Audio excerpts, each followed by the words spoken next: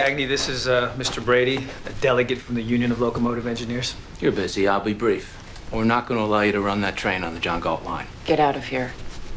You do not come into my office and tell me what you will or will not allow What me I to What I meant do. to say was that a committee has decided that allowing men to run your train on that untested metal would violate their human rights. Are you serious, Mr. Brady?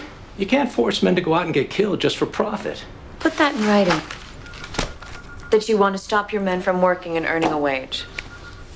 Miss Taggart, you don't understand. Oh, understand. no, no, no, no. I understand perfectly. You want me to provide the jobs, and you want to make it impossible for me to have any jobs to provide.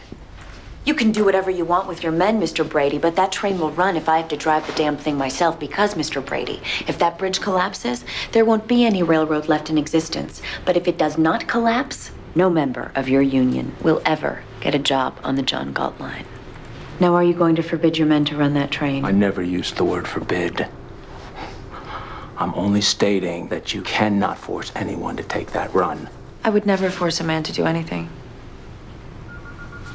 I'll ask for volunteers. Then it will be my problem, not yours.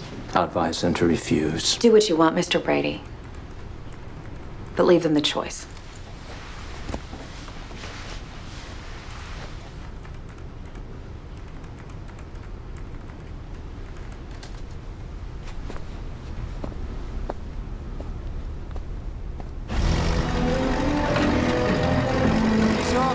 The State Science Institute is simply requesting that you stop production until the economy can stabilize. The answer is no.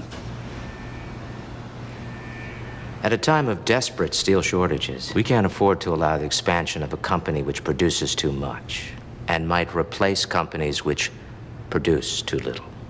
That is how you create an unbalanced economy. Oh. Well, I tell you what. If you can answer me one simple question truthfully, I'll consider your request. Is Rearden metal good or not?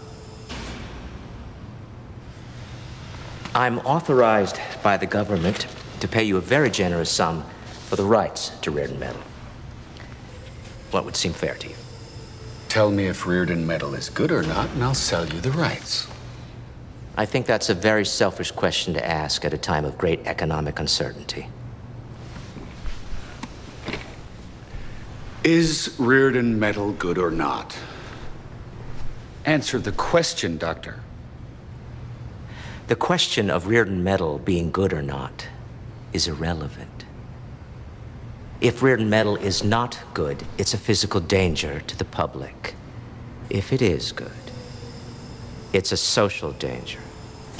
If you have any proof that Rearden metal poses a physical threat, show it to me.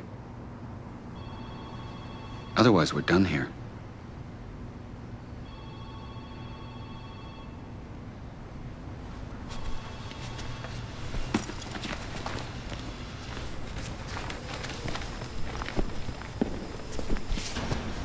Why is it so important for you to struggle for years, squeezing out meager gains, rather than accept a fortune for Rearden Metal? Because it's mine. Do you understand that concept? Mine. Why are you taking such a hard line position? I don't understand. I don't think you'll ever understand, Doctor. And Rearden metal is good.